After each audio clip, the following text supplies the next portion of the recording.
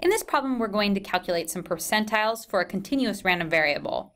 Let x denote the amount of time in hours a book on two-hour reserve will be checked out. The following is the proposed PDF, where f of x is equal to x over 2 where x is between 0 and 2. So to calculate the 80th percentile, we want to integrate from our lower bound up to then the 80th percentile, but we don't know that value, so we're going to give it a placeholder.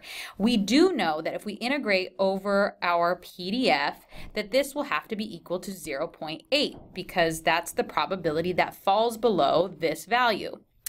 All right, that is, and that's the definition of the 80th percentile. So if we integrate this, we get x squared over 4.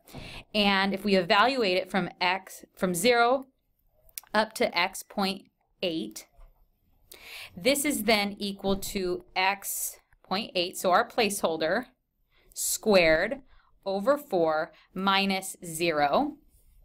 And this has to be equal to then 0.80. So now all we need to do is solve for this value. So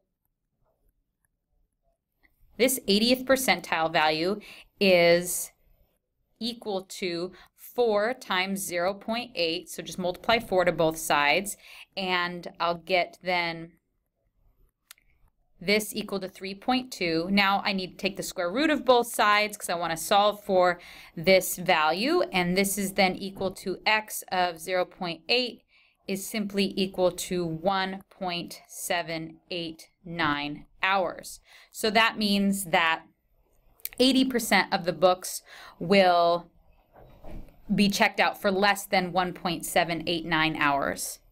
All right, so the second question is asked a little differently. It asks 20% of books will be checked out longer than what time? And so what that means is that what are what is that cutoff value that cuts off that top 20%?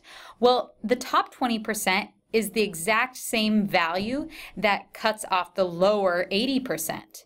And so we've actually just calculated this. So 20% of books will be checked out longer than 1.789 hours. Or if we wanted to make it more in context of our problem, we could say 20% of the books will be checked out longer than 1 hour 47 minutes.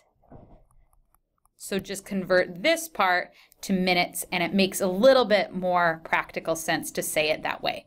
All right, hopefully this video helped you understand how you can calculate percentiles for a continuous random variable.